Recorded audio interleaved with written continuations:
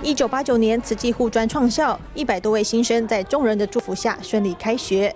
一九九七年，华联慈济医院尿路动力学检查室正式启用。影片记录每个当下，但要把这些历史转成数位档，过程可不容易。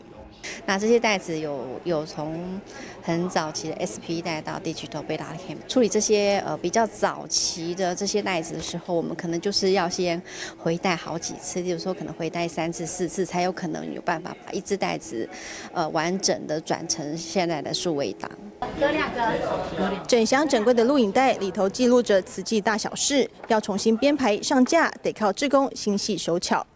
照顺序排的，以后要找比较好找。找可能一个年度七十九年、八十年、八十一年整理好了，师伯就突然间说：“哎，我找到八十年的袋子。”那就变成说，我们原本都已经上架好的东西，可能为了那零星的几只，我们必须再重新调整。动用十部三点五吨卡车，才有办法全数运完。这些庞大的资料袋，都是出自于慈济之工黄景义之手。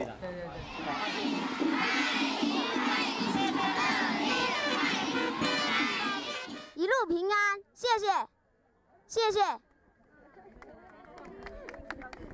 怎么现在就是拿个钢笔把它拿掉？那钢片在上面，上面在上面。我在出估来讲，应该大概十十几万只了。早期跟上的很珍贵的画面，那现在有时候一直要要找来讲话，也不晓得到底在哪里，这样没有把它展现出来，我认为很可惜的地方。